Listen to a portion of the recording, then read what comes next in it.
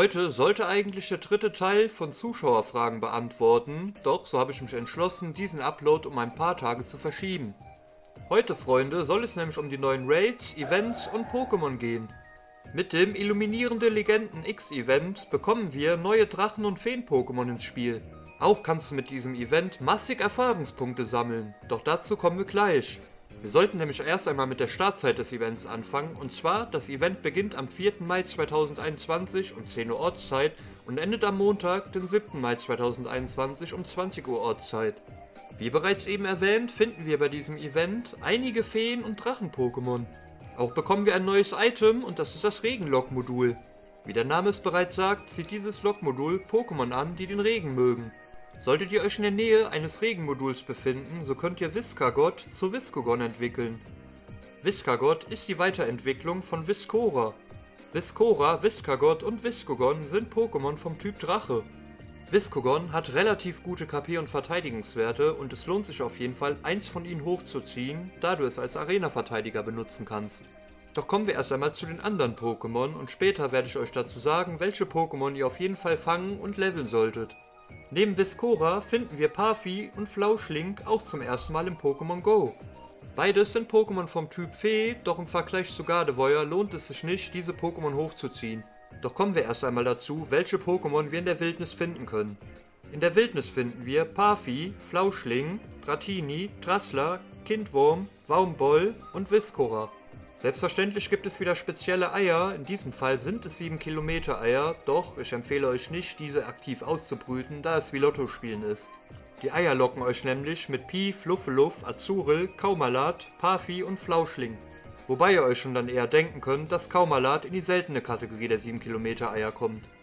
Solltet ihr während dieses Events ein Dragonir zu Dragoran entwickeln, so lernt es die Ladeattacke Dracometeor. Wutanfall ist allerdings besser als Raid-Angreifer.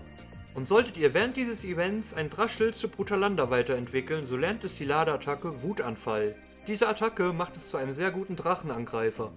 Ein kleiner Edit am Rande, ihr könnt während dieses Events tatsächlich eine Lade-TM benutzen, um die Ladeattacke zu bekommen. Doch kommen wir erst einmal zu dem Big Boy und das ist der Raid-Boss. Nein, Spaß, wir fangen mit dem noch besseren natürlich zuerst an. Der Raid-Boss kommt danach. Sollten wir während dieses Events 500 Millionen Feen-Pokémon fangen, so bekommen wir einen speziellen Bonus. Und mit diesem Bonus kannst du richtig flott leveln, denn wir bekommen wieder dreifache Fang-EP. Wenn du noch EP farmen möchtest, lohnt es sich auf jeden Fall, diese Fang-EP auszunutzen und damit ein paar Level abzubekommen. Doch jetzt kommen wir zu dem neuen legendären Raid-Boss. In den 5er Raids finden wir das legendäre Pokémon Xerneas. Xerneas ist ein Pokémon vom Typ Fee und existiert seit der sechsten Spielegeneration, sprich Pokémon X und Y. Es besitzt nur zwei Schwächen und das sind der Gift- und Stahltyp. Es empfiehlt sich also hier, ein Pokémon vom Typ Stahl oder Gift zu benutzen. So sind Pokémon wie Metacross, Dialga, Roserade, Stalobor, Genesect oder Jirachi am besten gegen es geeignet. Um einen günstigen guten Konter zu bekommen, empfiehlt es sich auf jeden Fall, ein Roserade mit zwei Giftattacken oder ein Stalobor mit zwei Stahlattacken zu benutzen. Beide Pokémon, also Roselia und Rotomorph, findet ihr relativ häufig in der Wildnis.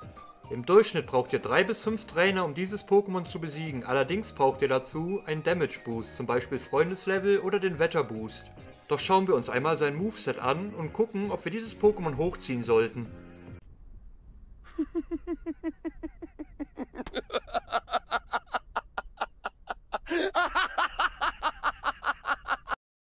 Okay, Spaß beiseite. Ich werde es jetzt relativ kurz halten und zwar, es hat ein sehr schlechtes Moveset.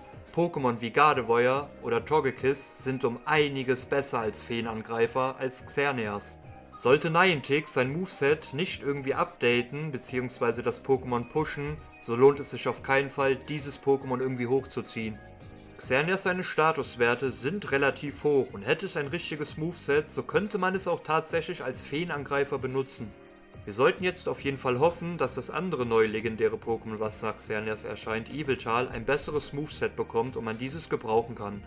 Evilchal wird auch ein eigenes Event bekommen, doch dazu werde ich ein anderes Video dann in Zukunft hochladen.